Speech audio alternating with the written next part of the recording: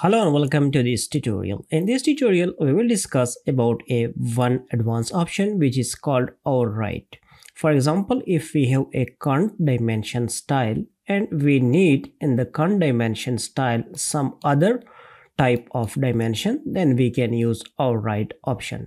For example, I am going to check. First of all click on the annotate option and from here you can easily select your default dimension style. Or if you create your new dimension style you can select it from here. So let me select the annotative or standard one. So let's select the standard.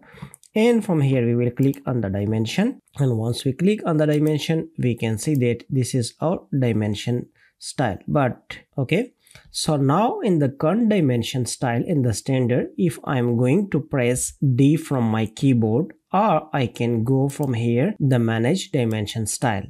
So the same as it is, I can press D shortcut from my keyboard. So now this pop-up menu is open. From here, we can see the override option.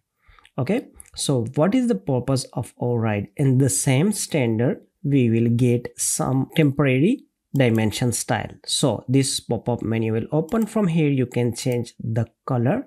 For example i'm going to click this one. And from here you can change each and everything as i explained in previous video. So now let me just change this some arrows and setting and the con dimension setting. For example i'm pressing 0.3 and from here just let me press it and so let me press here 0.25 and press enter. Okay. And now i am going to the text. And from here i will change the text size 0.25 the same as it is. And from here i will change the standard for the text style. And here i can just select the yellow color for the text so it will be more clear. So let me click on ok button and now you can see here in the same standard style we get the style override okay? So now class now close and go to the dimension and click here and click from here to here. So now you can see that you are getting this dimension style. So the text is let me change the text okay? So the same we need to modify.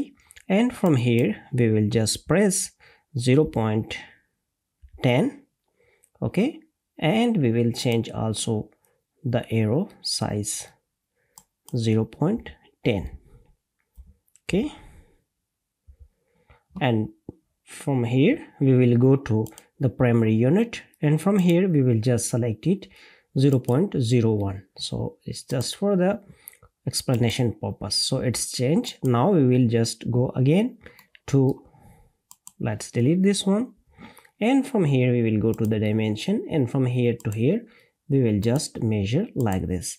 Now you can see that your this style is different from this but we have select we have set or standard. So same as it is you can do. You can also even create again a second override if you want to if you need again override. You can just select and do the same settings. So if you change the if you rename this override it will convert to new style. For example i'm entering abc new style.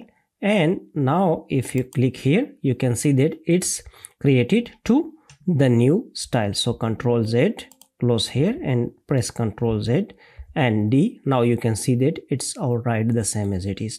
So if you want to delete you can just easily delete it from here so this why we are using this? For example if in one standard text style if you need few type of text you can just create override. For example i'm going to create again another. So let me just change only the color for the text then you will see the difference. Okay press enter and close. Now you will see that it will be different from the another one. Okay click here.